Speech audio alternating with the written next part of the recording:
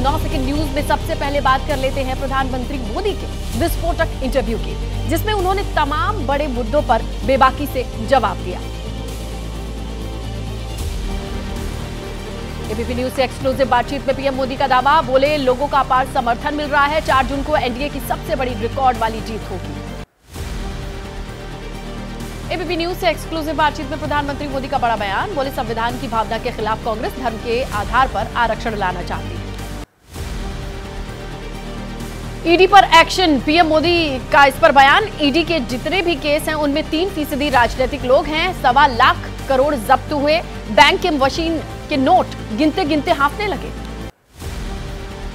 भुवनेश्वर में ABP news से प्रधानमंत्री बोले, लोकसभा चुनाव में इस बार पश्चिम बंगाल, ओडिशा में क्लीन स्वीप करेगी बीजेपी। कांग्रेस ने बंगाल को तबाह करके रख दिया। चौथे चरण के लिए आज सियासी दिग्गज कहाँ कहाँ हुंकार भरेंगे? साथ ही सियासी रण के लिए कौन कौन से दिग्गज नामांकन करेंगे? नौ सेकंड न्यूज़ में तमाम खबरों पर रुख करते हैं। लोकसभा चुनाव के चौथे चरण के लिए आज शाम थम जाएगा चुनावी शोर। सभी पार्टियाँ प्रचार में झोंकेंगी अपनी ताकत। दस राज्यों की छियानवे सीटों पर तेरह मई को मतदान होगा। चौथे फ़ेज़ में आंध्र प्रदेश की सभी 25, तेलंगाना की 17, यूपी की 13, महाराष्ट्र की 11 सीट पर 13 मई को वोट डाले जाएँगे। चौथे चरण में मध्य प्रदेश पश्चिम बंगाल में आठ आठ, बिहार की पाँच, झारखंड, ओडिशा की चार चार, जम्मू कश्मीर की एक सीट पर वोटिंग। पीएम मोदी आज धुआंधार प्रचार, ओडिशा में तीन, झारखंड में एक, जनसभा को संबोधित करेंगे सुबह साढ़े दस बजे, कंधमाल साढ़े बारह बजे बोलंगीर शाम पाँच बजे, झारखंड के चतरा में रैली करेंगे। आज तेलंगाना में गरजेंगे गृह मंत्री अमित शाह। दो चुनावी सभा में शामिल होंगे सुबह साढ़े दस बजे, चिविल्ला और साढ़े बारह बजे कुरनूल में प्रचार करेंगे। तेलंगाना के चुनावी दौरे पर केंद्रीय गृह मंत्री अमित शाह प्रेस कॉन्फ्रेंस करेंगे। दोपहर ढाई बजे होटल आईटीसी में मीडिया से मुखातिब होंगे। पटना में आज सुबह 11 बजे होटल मौर्या में इंडिया गठबंधन की प्रेस कॉन्फ्रेंस। कांग्रेस अध्यक्ष मल्लिकार्जुन खड़गे, लालू प्रसाद यादव, सीताराम येचुरी, दीपांकर भट्टाचार्य मौजूद रहेंगे। पीएम मोदी के संसदीय क्षेत्र वाराणसी का आज दौरा करेंगे अमित शाह। शाम साढ़े छह बजे वाराणसी के दशाश्वमेध घाट पर गंगा आरती में शामिल होंगे। राहुल गांधी आंध्र प्रदेश में चुनावी प्रचार करेंगे। सुबह साढ़े ग्यारह बजे वाईएस राजशेखर रेड्डी को श्रद्धांजलि, बारह बजे, साढ़े बारह बजे कडप्पा में रैली। प्रियंका गांधी आज महाराष्ट्र तेलंगाना के चुनावी दौरे पर रहेंगी। महाराष्ट्र के नंदुरबार, तेलंगाना के चिविल्ला में जनसभा है। जहीराबाद में रोड शो करेंगी। सीएम योगी आज यूपी में तीन जनसभाओं के अलावा बिहार में हुंकार भरेंगे। सुबह साढ़े दस बजे, कन्नौज दोपहर साढ़े तीन बजे, बेगूसराय में जनता को संबोधित करेंगे। कांग्रेस अध्यक्ष खड़गे का बिहार दौरा। आज सुबह ग्यारह बजे पटना में प्रेस कॉन्फ्रेंस, दोपहर साढ़े बारह बजे समस्तीपुर, तीन बजे मुजफ्फरपुर में होंगे। गुजरात के दादोह में बूथ नंबर 220 पर आज पुनर्मतदान। इस मतदान केंद्र पर बूथ कैप्चरिंग का वीडियो सोशल मीडिया पर वायरल हुआ था। नौ सेकंड न्यूज़ में अब बात करते हैं केजरीवाल से जुड़ी खबरों का, जिनके जेल से बाहर आने के बाद सियासी पारा चढ़ चुका है। अंतरिम जमानत पर तिहाड़ जेल छूटते ही मोदी सरकार पर बरसे अरविंद केजरीवाल। बोले, देश की जनता देगी तानाशाही का जवाब। केजरीवाल को दो जून को करना है सरेंडर। दिल्ली में आज से चुनाव प्रचार की कमान संभालेंगे अरविंद केजरीवाल। हनुमान मंदिर में दर्शन, दोपहर एक बजे करेंगे प्रेस कॉन्फ्रेंस, शाम में दक्षिण दिल्ली में रोड शो। जेल से बाहर आने के बाद अरविंद केजरीवाल बोले, जब भी किसी ने इस देश पर तानाशाही की कोशिश की है, लोगों ने उसे बर्दाश्त नहीं किया है। आज देश तानाशाही के इसी दौर से गुजर रहा है। अपने घर पहुँचे केजरीवाल का फूलों, आतिशबाजी से स्वागत हुआ। माता पिता का आशीर्वाद लिया। माँ ने तिलक लगाकर बेटे का अभिवादन किया। बेल के लिए सुप्रीम कोर्ट को धन्यवाद दिया। केजरीवाल के जेल से बाहर आने के बाद सांसद संजय सिंह बोले, ये देश के लिए ऐतिहासिक क्षण है। इंडिया गठबंधन कहेगा, को होगा बड़ा फ़ायदा। तानाशाही के खिलाफ लड़ेंगे लड़ाई। केजरीवाल को बेल मिलने पर कांग्रेस ने जताई खुशी। खड़गे बोले चुनाव के समय गिरफ़्तार किया गया था। सरकार भविष्य में ऐसी गलती नहीं करेगी। झारखंड के पूर्व सीएम की पत्नी कल्पना सोरेन ने केजरीवाल के बेल पर खुशी ज़ाहिर की, बोली, जल्द ही हेमंत सोरेन आकर झारखंड में प्रचार करेंगे। पीडीपी चीफ महबूबा मुफ्ती बोली, मुझे खुशी है, अरविंद केजरीवाल को अंतरिम जमानत मिल गई। आजकल देश में अंधा राज चल रहा है। कांग्रेस नेता संदीप दीक्षित बोले, जिस कारण से जमानत मिली है, उससे मैं सहमत नहीं ऐसे वो तुरंत, ऐसे में तुरंत हेमंत सोरेन और बाकी नेताओं को भी बेल मिलनी चाहिए। बीजेपी नेता मनोज तिवारी ने कहा, अरविंद केजरीवाल को कुछ दिनों के लिए सशर्त छोड़ा गया है। सुप्रीम कोर्ट ने उनके चेहरे पर कालीक लगाकर भेजा है। जनता को वो क्या मुँह दिखाएँगे?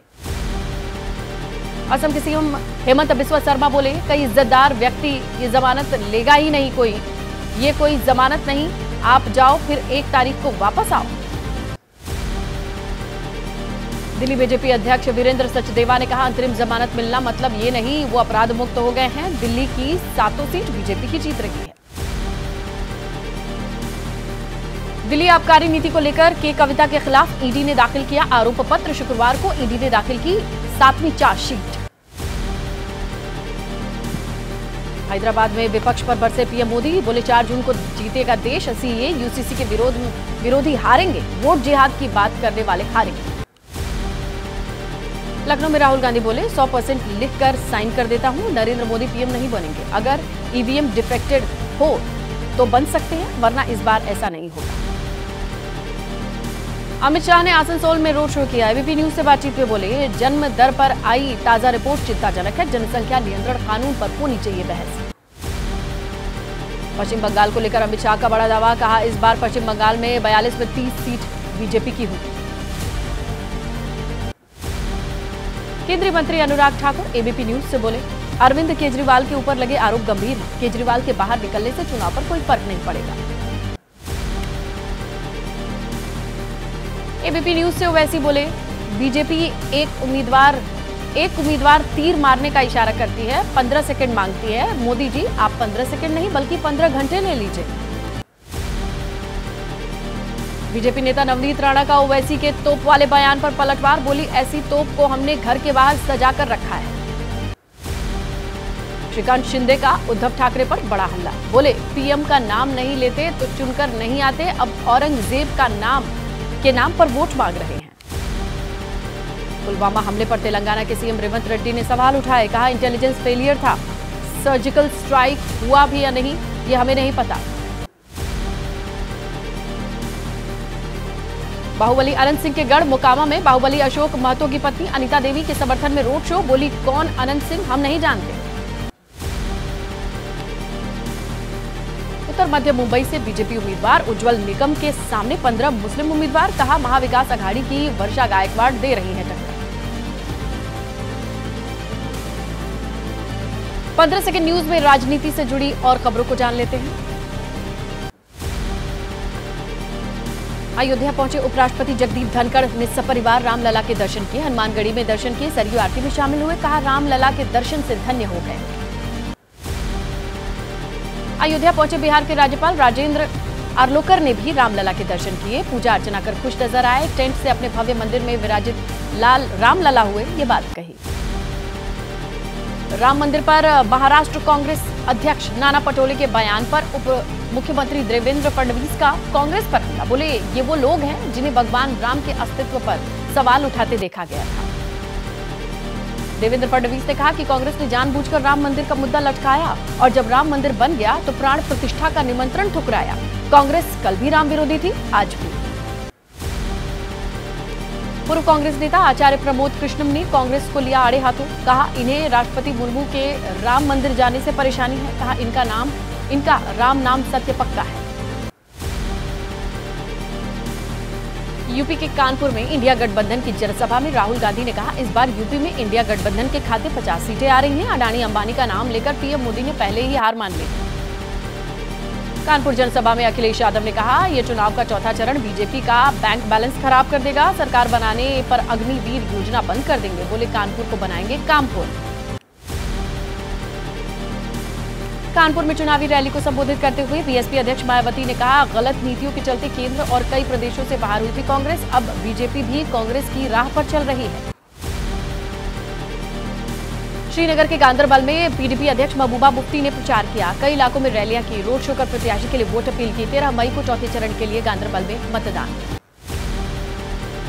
पीडीपी प्रत्याशी को चुनाव आयोग से नोटिस मिलने पर भड़की पीडीपी अध्यक्ष महबूबा मुफ्ती ने कहा, इलेक्शन कमीशन बीजेपी की तरफ़ नहीं देख रही, सिर्फ़ विपक्षी दलों को ही निशाना बना रही है। बिहार के बक्सर से एनडीए प्रत्याशी मिथिलेश तिवारी, गठबंधन उम्मीदवार सुधाकर सिंह ने नामांकन किया। नामांकन के बाद बीजेपी और आरजेडी प्रत्याशी के बीच तेज हुई जुबानी जंग। पंजाब के पटियाला में शिरोमणि अकाली दल के प्रत्याशी ट्रैक्टर से सवार होकर नामांकन केंद्र पहुँचे। पूर्व मंत्री सुरजीत सिंह रखड़ा। की मौजूदगी में एन शर्मा ने नामांकन किया। गोरखपुर के कलेक्ट्रेट में नामांकन के बाद लग्जरी कार छोड़ बाइक पर सवार हुए बीजेपी प्रत्याशी रवि किशन पिपराइच विधायक भी रहे मौजूद, बाइक से जाने का वीडियो हुआ वायरल। झारखंड की गोड्डा लोकसभा सीट से बीजेपी प्रत्याशी निशिकांत दुबे ने पर्चा भरा, बोले 2019 में ही कह दिया था कि 2024 में एनडीए करेगा 400 पार का आंकड़ा। बिहार की राजधानी पटना में बीजेपी महिला मोर्चा विंग की तैयारी। पीएम मोदी के रोड शो से पहले पटना में मोदी संघ, बिहार मेहंदी उत्सव का बीजेपी महिला मोर्चा ने आयोजन किया। मध्य प्रदेश के मुख्यमंत्री मोहन यादव ने उज्जैन में रोड शो किया। बीजेपी प्रत्याशी के लिए जमकर प्रचार किया। लोगों से वोट अपील की। राज्य में चौथे चरण में तेरह मई को मतदान। हरियाणा में कांग्रेस विधायकों ने की राष्ट्रपति शासन लगाने की मांग। राज्यपाल के सचिव को ये ज्ञापन सौंपा, कहा, अल्पमत ने सरकार विधायकों की खरीद फरोख्त रोकने के लिए राष्ट्रपति शासन ज़रूरी। हरियाणा के जींद में दुष्यंत चौटाला की माँ, नैना चौटाला का विरोध, काले झंडे दिखाकर गाड़ी पर पत्थरबाजी, बिना संबोधित किए वापस लौटी हिसार से जेजेपी प्रत्याशी नैना चौटाला। हरियाणा कांग्रेस विधायक भारत भूषण ने कहा, अल्पमत की सरकार को बर्खास्त करे राज्यपाल, सीएम नायब सैनी को बहुमत साबित करने के लिए कहें, कहा, सरकार के पास तिरालीस विधायक। हरियाणा के पंचकुला में बीजेपी अध्यक्ष जेपी नड्डा की मौजूदगी में कोर ग्रुप की बैठक हुई। हरियाणा के सीएम नायब सिंह सैनी मौजूद रहे। पूर्व सीएम मनोहर लाल खट्टर, पार्टी के बड़े नेता मौजूद रहे। बंगाल बीजेपी अध्यक्ष सुकांता मजूमदार ने कहा, टीएमसी लोगों को गुमराह करने के लिए अभी वीडियो जारी करेगी। शेख शाहजहां को बचाने की कोशिश भी करेगी। कहा तुष्टिकरण की राजनीति कर रही है टीएमसी। आइए अब देश की बड़ी खबर जानते हैं। सिर्फ़ नौ सेकंड। करतारपुर साहिब कॉरिडोर शुल्क पर विदेश मंत्री एस जयशंकर का बयान, कहा करतारपुर साहिब जाने के लिए भारतीयों पर लगने वाले 20 अमेरिकी डॉलर शुल्क को लेकर पाकिस्तान से बात करेंगे। महिला पहलवानों के उत्पीड़न का मामला, अदालत ने ब्रिजभूषण पर आरोप तय करने का दिया आदेश, एक रेसलर के आरोप से ब्रिजभूषण को किया गया बरी ब्रजभूषण शरण सिंह के खिलाफ आरोप तय होने पर पहलवान साक्षी मलिक ने कहा, यह हमारे लंबे संघर्ष की ओर एक कदम है। हमारी लड़ाई के लिए नहीं, बल्कि आने वाली पीढ़ियों के लिए लड़ाई थी। बीजेपी सांसद ब्रजभूषण शरण सिंह ने कहा, कोर्ट के फैसले का स्वागत, विकल्प खुले हैं। इस मामले का करूँगा सामना। मतदाताओं को जागरूक करने के लिए पटना में इंडियन वोटर क्रिकेट लीग का आयोजन। बिहार के मुख्य निर्वाचन पदाधिकारी ने कहा, पटना साहिब सीट पर सबसे कम होता है मतदान, लोगों को कर रहे हैं जागरूक। छत्तीसगढ़ के बस्तर में मुठभेड़ में मारे गए 12 नक्सली। आईडी ब्लास्ट में दो जवान घायल हुए। जवानों की टीम ने मुठभेड़ में मार गिराए नक्सली। मारे गए नक्सलियों की पहचान अब तक नहीं। सर्चिंग के दौरान बड़ी मात्रा में विस्फोटक मिले। 12 बोर की बंदूकें country made rifle BGL launcher भी बरामद। पुंछ में सेना और एसओजी पुलिस का सर्च ऑपरेशन ज़िले में एयरफोर्स के काफिले पर हुआ आतंकी हमला। एक जवान शहीद हुआ था। राज्यों की खबरों की अपडेट ले लेते हैं नौ सेकंड में। दिल्ली एनसीआर से सटे गाजियाबाद, इंदिरापुरम में बेहद posh society Saya gold avenue में गंदा पानी पीने को लेकर सात लोगों, सात सौ लोगों के बीमार होने की खबर, हज़ार के पार आंकड़ा पहुँचा। पूर्वोत्तर दिल्ली के जाफराबाद इलाके में पैरोल पर आए एक चौतीस साल के शख्स ने तीन लोगों की गोली मारकर हत्या कर दी। मामले की जाँच में जुटी पुलिस इलाके के सीसीटीवी चेक किए जा रहे हैं। राजस्थान के जालौर में पाँच दिवसीय हनुमंत कथा कार्यक्रम को लेकर साचौर पहुँचे पंडित वीरेंद्र कृष्ण शास्त्री। कहा, हम किसी राजनीतिक दल नहीं, सिर्फ़ हनुमान जी के समर्थक हैं। छत्तीसगढ़ के बिलासपुर में चलती कार में भीषण आग, हादसे में बाल बाल बचे सवार। कार से धुआँ उठते देख पति पत्नी बच्चों सहित कार से बाहर निकले। और मई के महीने में कहीं बारिश है तो कहीं भीषण गर्मी। नौ सेकेंड न्यूज़ में जान लेते हैं बेमौसम बारिश से कहाँ कहाँ कहर है। दिल्ली एनसीआर में मौसम का बदलाव। धूल भरी आंधी के साथ तेज हवाएँ चलने से चिलचिलाती गर्मी से राहत। मौसम विभाग ने चेतावनी जारी की। दिल्ली में भी देखा तेज हवाओं का उत्पाद कई जगह पेड़ गिरने से ट्रैफ़िक बाधित। कई इलाकों में हल्की बारिश। नोएडा में बीती रात तेज आंधी तूफ़ान से कई पेड़ गिरे। कई सेक्टर्स में बिजली कटी। बिना लाइट, परेशान हुए लोग। आंधी तूफ़ान, हल्की बूंदाबांदी से लोगों को गर्मी से राहत।